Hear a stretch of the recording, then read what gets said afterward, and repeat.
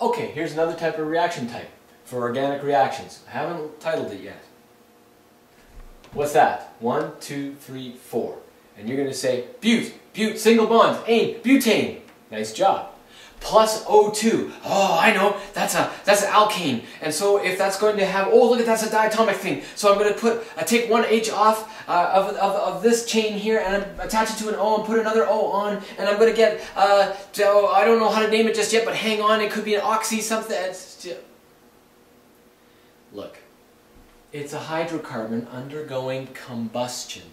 Don't get fooled. Whenever you see plus O2, here's what you get, right? CO2 plus H2O. Look, it's hydrocarbon combustion. And so whenever you get an organic molecule and it says plus O2, don't be thinking substitution, don't be thinking addition, just think burning, because that's what that means, and it's going to make CO2 and H2O. Now, it doesn't always make CO2, you know. This is an ideal reaction under ideal conditions. Generally, what happens is these alkanes and alkenes and alkynes, when they burn, they're going to produce carbon monoxide as well in incomplete combustion. So uh, these exothermic reactions might actually produce chemicals that are a little bit more radical than what we're used to, but generally speaking, when you're asked to write an equation for combustion, you put down CO2 plus H2O. Now to balance that, you have to remember that if this is an alkane and a butane, which is what it is, what would the formula be? Well, C4, and you don't even have to think about it. It's H10 because it's, uh, it's H2N plus 2, right? So C4H10. So when you balance that, you're going to have four of those right there because you have four there. You got 10 hydrogens there. You're going to put a 5 there. Stay on this side. 4 times 2 is 8 plus 5 is 13. So 13 halves go here. And remember, Chem Guy says that's cool, but if your teacher doesn't, it's going to be 2, 13, 8, and 10. Hydrocarbon combustion. So an addition reaction, remember, was to take a double or triple bonded substance and then add on a halogen or something like water, which would break apart into HOH, and you could add on chemicals onto double and triple bonds that were sprung open. Elimination is the reverse of those processes. It's to actually form multiple bonded substances. So now how can you do that?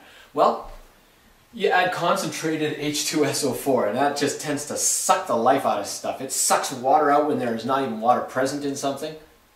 Actually, that's kind of true because if you actually put concentrated sulfuric acid onto sucrose, which is C12H22O11, it sucks the water out of sucrose and leaves carbon behind.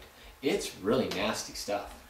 Well, what can it do to a molecule like this? Well, it can eliminate or eliminate um, uh, a, a certain substance from it that you can remove. So what are we going to remove from this and what is this to begin with? Well, okay, take a look at this molecule and, and, if your teacher said, your teacher would actually say, here, what would you do with this and perform an elimination reaction? I don't think necessarily that they would, well, they might just give you an equation like this and say in concentrated sulfuric acid what forms. They might do that and you'll have to say, okay, well, elimination is a possibility where you're going to get a molecule like this. And let's draw this out from this condensed formula here.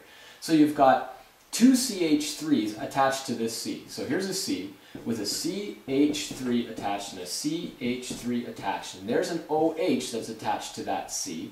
How can I tell? Because then this C is attached to this C, which has an H attached to it here, which then it has a CH3 attached here and a CH3 attached here.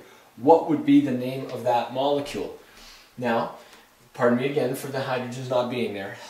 Okay, longest continuous chain of carbons, one, two, three, four. So that's a butan, but this is not butane because there's an OH group on it. So it's a butanol, but where's the ol? At the second carbon in.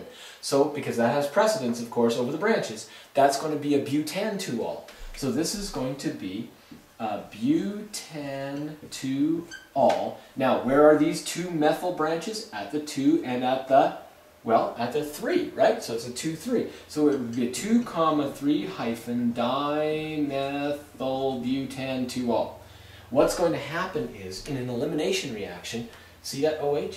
See that H? Whoosh, whoosh, they come off. This concentrated sulfuric acid peels water off where there was no water before.